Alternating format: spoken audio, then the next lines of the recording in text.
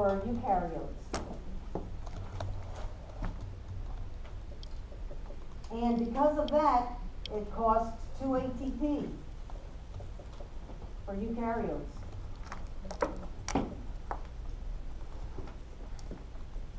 Right?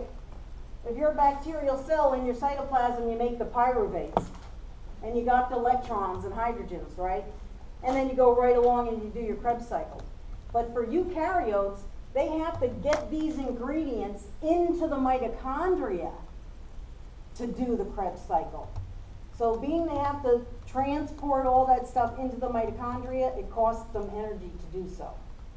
And that costs them 2 ATP.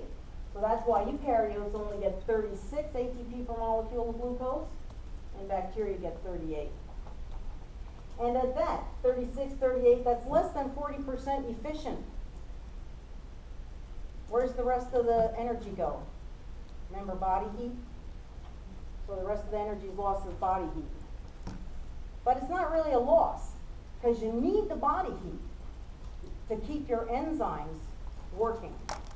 Even bacteria, they'll literally, the colony will be warmer when they're metabolizing and actively growing. If they're dead, it's kind of like people, they're literally cooler. Okay, third step, I call it oxidative phosphorylation. Let's just talk about that word. Oxidative refers to, look here, oxidation, oxidation, oxidation. We broke bonds in our glucose and got electrons and hydrogens. That's the energy from the bonds. We're going to gather up all the electrons and hydrogens from all those oxidation reactions. And what are we going to use them for? We're going to use them to make ATP from ADP. Let's try a different color for that. Remember our ATP, ADP cycle? ADP to ATP, right? If I add a phosphate, I'm going to have to make a new bond. So this requires energy, right? So the E's and H's don't literally go in there themselves, but they create the energy to build that bond. Later, when I'm doing building reactions, I can break off the P, release the energy from the phosphate bond, I returned to ADP, and I had to pluck off my phosphate. And when I did that, energy was released from the phosphate bond. So, all those oxidations provide the energy to do the phosphorylation. This is phosphorylation. That's why it's called oxidative phosphorylation. Now, I've read a variety of microbiology textbooks in my day, and they all explain it a little differently. But for me, that's the simplest way to understand it. Okay? Oxidative phosphorylation means I did all these oxidations when I broke the bonds in my glucose molecule, and now I'm going to gather up all the electrons and hydrogens that were released from those oxidations and package that energy in a phosphate bond to make ATP. Right? Okay. Where does it happen? At the electron transport chain. Remember, plasma membrane and membranous organelles are phospholipid bilayers with proteins interspersed. Some of the proteins are the proteins of the electron transport chain. Okay? So, the electrons and hydrogens are literally going to be carried to the membrane. It's either the membrane inside the mitochondria. Remember mitochondria? Here's a little mitochondrion, right? It's got membrane around the outside, and then it's got squiggles of membrane on the inside. The electrons and hydrogens are literally going to be added to the membrane. They're going to go into the membrane and go across the membrane. In a bacterial cell, it's going to go make a nice big bacterial cell, plasma membrane, cell wall, nucleoid. Here happens your glycolysis. Your Krebs cycle is next. And all the electrons and hydrogens, right? What do you get? E's, H's, E's, H's. You even got from the transitional step, right? And they're all literal, literally going to go into this membrane. And they're going to tumble, because remember, the membrane is actually a um, phospholipid bilayer. And it's going to have proteins throughout.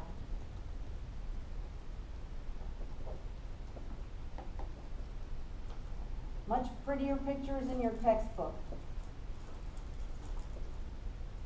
And the PowerPoints we sped through yesterday.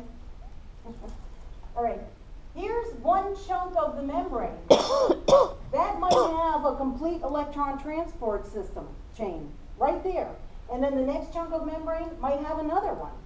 And so there's more than one electron transport chain. They run throughout the membrane. We're just going to look at one at a time. And what happens? These electrons get passed through the membrane. The reason is because those membrane proteins are called cytochromes, which means they contain iron. Do you know why iron rusts? Because it's doing all that chemical activity with electrons. Electrons are attracted to them.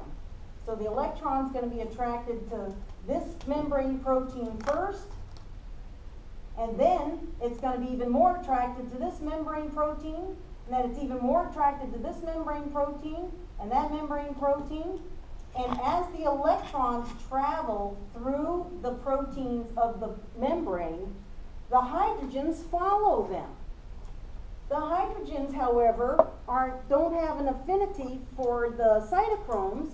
Instead, the hydrogens are going to get kicked out. So I'm trying to put E's in here and the hydrogens literally get kicked out to the space between the plasma membrane and the cell wall. There's a way to actually calculate your oxidations and your hmm. carrier molecules. Electrons and hydrogens that are carried by NAD, you get 3 ATP. The ones that are carried by FAD, you only get 2 ATP. I don't care about all that. Just need to know all these hydrogens are going to get kicked across the membrane. What did I just set up? A concentration gradient, right? Before I had an accumulation of hydrogens over here. When they follow the electrons and get pushed out to this space, now I have accumulation of hydrogens out here. And that's going to create a concentration gradient. And if you had any introductory biology, you would know Systems like equilibrium. Remember one of the jobs of the plasma membrane is to maintain equilibrium on both sides of the membrane. This is not equilibrium. So what happens is all the H's come rushing back in.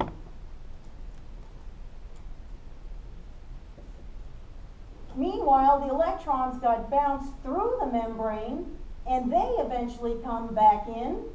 And guess who's waiting to have them? Oxygen. Oxygen is an electron hog. Just remember that. Oxygen's an electron hog. So all the electrons are attracted to oxygen. And all the hydrogens are attracted to electrons, so all the hydrogens now go to the oxygen. And what happens? I had oxidation, oxidation, oxidation. And I told you before that redox reactions means reductions are coupled to oxidations. This is my reduction. The oxygen gains all these hydrogens and it gets reduced. So this is your reduction to water. And if you look at the chemical formulas, it's more than one molecule of water. It's six.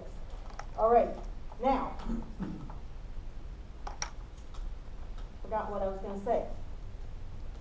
Oh, yes, this flow of the hydrogens creates energy. So all of this energy is harvested. That's what this is. This energy is used to make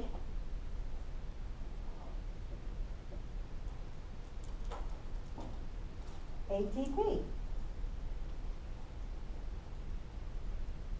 So after you break down your glucose all the way, you get water. Every time you do a decarboxylation, you get carbon dioxide. You break off that carbon. Carbon likes to make bonds. Remember, carbon wants four bonds. Got to bond to somebody. Bonds to oxygen. So whenever you see a decarboxylation, whenever you see a carbon plucked off, it's going to be released as carbon dioxide. So here's decarboxylation, get carbon dioxide coming out. So now go back to those formulas. You start with glucose, you add oxygen, you break your glucose apart completely, you get water, carbon dioxide, and ATP. 36 ATP per molecule of glucose. And it's not 100% efficient, the rest of the energy is lost as heat. Metabolic heat. When you're metabolizing, you warm up body heat. Okay, I'll say phosphorylation or electron transport chain. Okay. So after Krebs cycle and glycolysis, all those electrons and hydrogens go to membrane, right? Bilayer membrane. Electrons, they pass